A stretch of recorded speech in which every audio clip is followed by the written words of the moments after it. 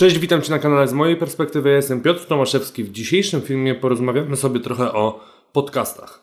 Patrząc na Google Trends, e, podcasty cały czas rosną w siłę, zwłaszcza właśnie przez ostatni rok, zarówno jak chodzi o zainteresowanie, jak chodzi o twórców. Tych twórców jest coraz więcej i coraz więcej też osób słucha tych podcastów. I właśnie w tym filmie chciałbym powiedzieć, e, co ja na ten temat myślę, jak to wygląda z mojej perspektywy i w czym na przykład podcasty są lepsze od filmów na YouTubie. Dla tych, co nie wiedzą, podcast jest to forma audio, materiału na jakiś temat, yy, które bardzo przypomina radio. I to jest według mnie takie dobre.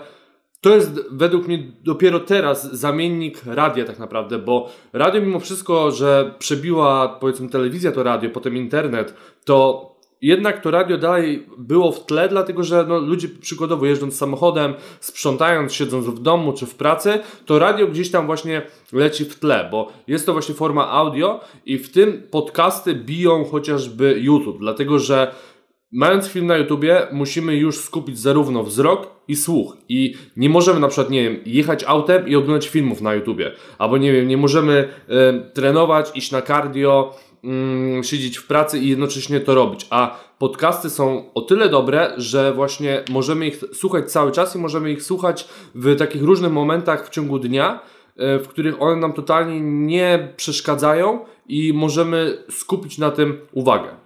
I tak jak właśnie kanały na YouTube, podcasty też są bardzo różne. Nie ma czegoś takiego, że jest jakaś ograniczona ilość tematów, bo są też podcasty typowo rozrywkowe, gdzie można się naprawdę dobrze pośmiać. Są też kanały merytoryczne, informacyjne, więc podcasty tak naprawdę niczym się nie różnią, jak chodzi o kategorie. I podcast można nagrywać na każdy temat, także jest bardzo uniwersalny. Kolejnym plusem robienia podcastów jest to, że są dużo łatwiejsze i dużo tańsze w zrobieniu. Dlaczego tańsze? Bo tak naprawdę jedyne czego potrzebujemy to jeden albo ewentualnie no dwa dobre mikrofony w momencie, gdy nagrywamy z kimś, e, jak chodzi o gościa i telefon. Bo można nagrać to na dyktafonie na telefonie, potem te ścieżki dźwiękowe ze sobą zgrać e, i nie ma żadnego problemu. Także jedyne co, to potrzebny jest mikrofon i tutaj tak naprawdę Serio, w większości przypadków mikrofon za 100 czy 200 zł będzie w zupełności wystarczający, żeby dojść do bardzo wysokiego poziomu. Będzie to bardzo dobry dźwięk, oczywiście to nie będzie dźwięk studyjny, ale też do właśnie do tego potrzeba na przykład studia, wytłumienia pokoju, ale to już wchodzimy w bardzo, że tak powiem, profesjonalne um, nagrania i bardzo profesjonalnych twórców, ale co do zasady, do nagrywania podcastów praktycznie nie trzeba żadnego wkładu, jak chodzi o wrzucanie tych podcastów na Spotify'a, SoundClouda, e, iTunes, to praktycznie jest to też darmowe. E, także tu również już odchodzi jakby ten, ten, ten czynnik. Następnie programy do obróbki audio również można znaleźć darmowe, bo jest na przykład taki program jak Audacity i bardzo wielu podcasterów go używa mimo e, dużych zasięgów, mimo tego, że na przykład stać ich było na e, jakieś programy bardziej profesjonalne. To jest to program, który będzie wystarczający, e, jest dosyć łatwy w obsłudze, Także tu już dochodzi właśnie to oprogramowanie, że też jest darmowe. I sama forma podcastu też sprzyja temu, żeby na przykład nagrywać te materiały z kimś, żeby robić kolaboracje. I to jest właśnie bardzo fajne, dlatego że w momencie, gdy ktoś na przykład nie ma pomysłu na swój kanał, nie wie o czym miałby mówić, e, to zrobią to goście. E, I to jest naprawdę e, banalne, że w momencie, gdy ktoś jest podcasterem, to serio taka osoba niekoniecznie musi mieć jakoś dużo wiele do powiedzenia, bo to, właśnie goście będą mówić. Także tutaj jest bardziej zabawa w dziennikarza, bardziej w to, żeby wymyślić sensowne pytania, e, żeby właśnie wyciągnąć z takiego gościa jak najwięcej w ciągu powiedzmy godziny, ale co do zasady, zakładając podcast, ustawiam tylko kategorię, w której będziemy się poruszać, a potem wszystko będą robić nasi goście.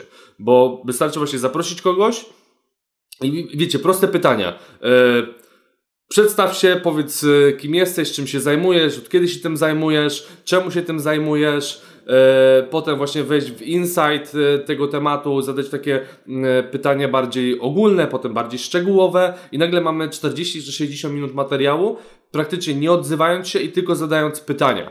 I tutaj też są podwójne zasięgi, dlatego że jednocześnie my wrzucamy na przykład ten materiał, żeby ludzie go słuchali, ale też nasz gość wrzuci ten materiał dla swoich widzów. Więc e, te kolaboracje tutaj są dużo łatwiejsze w zrobieniu niż na przykład przypadku YouTube'a, bo w przypadku YouTube'a jest tak, że twórcy są z różnych miast, więc na przykład trzeba do siebie dojechać, trzeba to wymyślić, trzeba to nagrać, E, I tu już jest tak naprawdę cały dzień poświęcony temu, żeby to nagrać.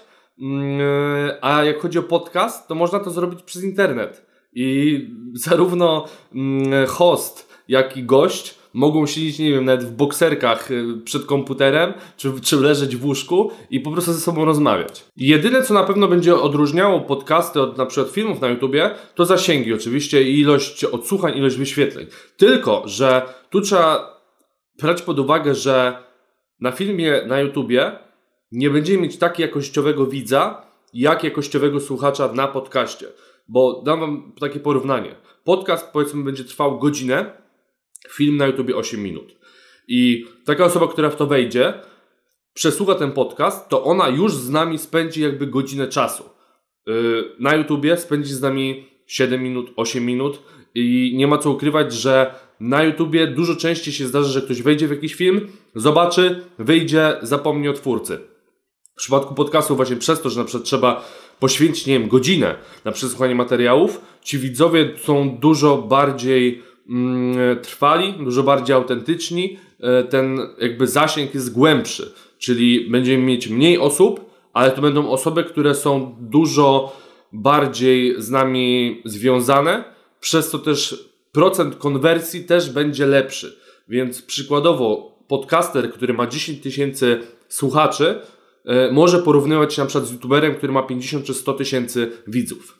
I tak jak wszystko, na podcastach też można zarobić, też można je bez problemu zmonetyzować, bo dla firm nie jest ważna forma, dla firm jest ważny zasięg i reklama, więc nie ma problemu, żeby zrobić reklamę na podcaście w formie audio, tak jak chociażby jest w radio. Także również właśnie te podcasty można zmonetyzować. I jak chodzi właśnie też o o te podcasty, to chciałem właśnie powiedzieć, że można też zrobić z tego wideo. Po prostu. Można nagrać to, jak robimy podcast. Zresztą wielu podcasterów tak robi. Polecam chociażby Joe Rogana, który według mnie jest no, królem podcastów na świecie. To u niego każdy podcast to jest forma audio, ale też forma wideo. Przez co zarówno podbija YouTube, jak i Spotify'a, SoundClouda, iTunes i wszystkie te platformy. I naprawdę gorąco zachęcam Was do rozpoczęcia swoich podcastów, bo też jest to fajna okazja, żeby kogoś poznać, żeby z kimś właśnie porozmawiać. E, jeżeli chcecie, jeżeli jesteście zainteresowani tematem, mogę nagrać kolejny film, jak na przykład zacząć właśnie e, tworzyć te podcasty, jak zrobić, żeby właśnie dojść do powiedzmy większych nazwisk, do osób, które mają większe zasięgi. Ale teraz właśnie chciałem powiedzieć, że zachęcam Was do robienia tych podcastów i serio, ja bym też je robił, gdyby nie to, że wolę po prostu formę wideo. I nie połączyłbym już tego. W sensie już nawet nie mam gdzie wcisnąć tych podcastów, ale serio, bardzo chętnie bym je robił, gdyby nie to, że po prostu bardziej jara mnie YouTube, bardziej jara mnie forma wideo i, i w tym się lepiej czuję, ale nie, nie, nie jest, że tak powiem, e, nie jest powiedziane, że nigdy tych podcastów robić nie będę. W swoim życiu chyba nagrałem trzy albo cztery te podcasty, jak chodzi o mm, jakby siebie, że ja je nagrywałem, e, ale jak chodzi o bycie gościem, jak najbardziej jestem chętny. Także tu już Was zachęcam, każdego, kto tego słucha. Jeżeli stworzycie własny podcast i nagracie 9 odcinków, to ja będę Waszym dziesiątym gościem.